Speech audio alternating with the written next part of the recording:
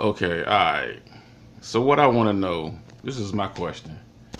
Why do these pro-black niggas get so angry and pissed at black people for not wanting to call white people supreme?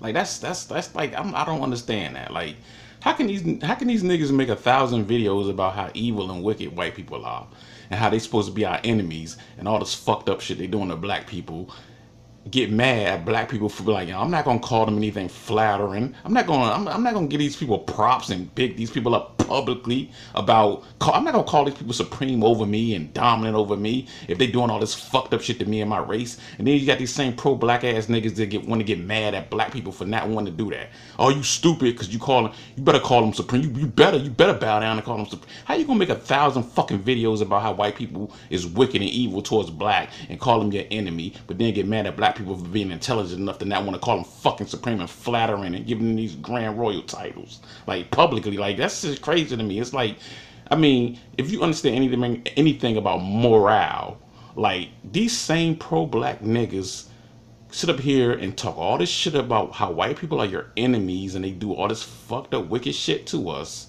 but call but want to give them these grand titles. But then they talk about when they talk about black people, the people that they claim to be on the same side of, they call them all these fucked up shit like dirt, like, like dusty and broke and all this shit like that. Like, I mean, black people, black people, the people you claim to be speaking for are dusty and broke and degenerate.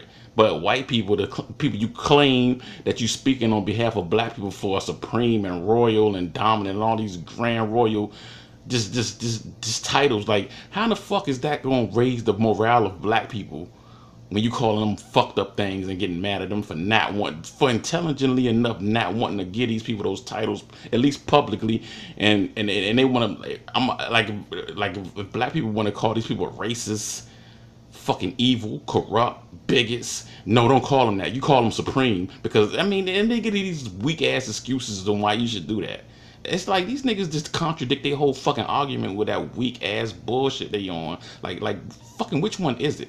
Nigga, are you for black people or are you not?